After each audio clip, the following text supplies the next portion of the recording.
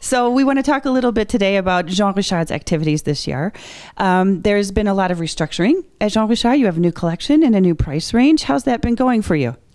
Uh, quite interesting, actually. As a first uh, feedback, we are starting to deliver the, the first point of sales with the full range of uh, the four collections. So the um, the first signals are quite encouraging for JeanRichard you know that we come from very very far so there is a lot of work to do and but we are quite in a in a good mood. Well you're here at SIAR so that means that um, the Latin American market and maybe even the South American market is a potential winner for JeanRichard.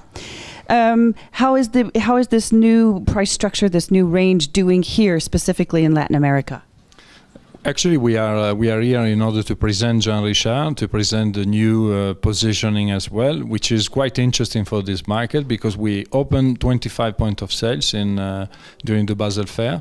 So for us, there is a huge potential, but we need to make sure that we are uh, we are also going to generate sell out. So that's why we come here. We are going to do activities here, and we are going to invest also in advertising uh, in this area because we feel that with our product there is definitely a potential for JeanRichard. And so, is Nik uh, going to make a big splash here at the SIAR?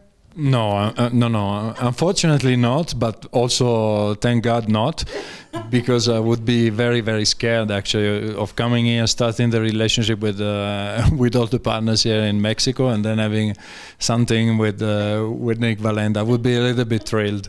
But anyway, uh, Nik is uh, is definitely one of our mo modern ambassador. He's really a friend of the brand. We we did with him the, this stunt in in the Grand Canyon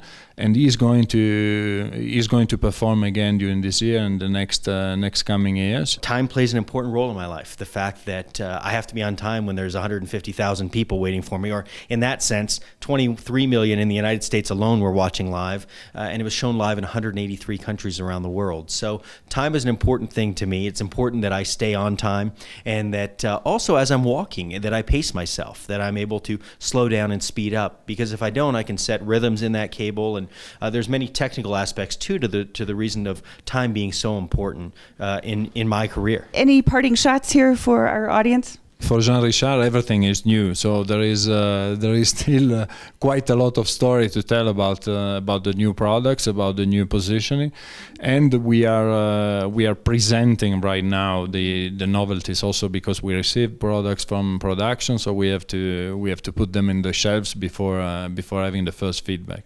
So plenty of novelties for Jean Richard. Discover them.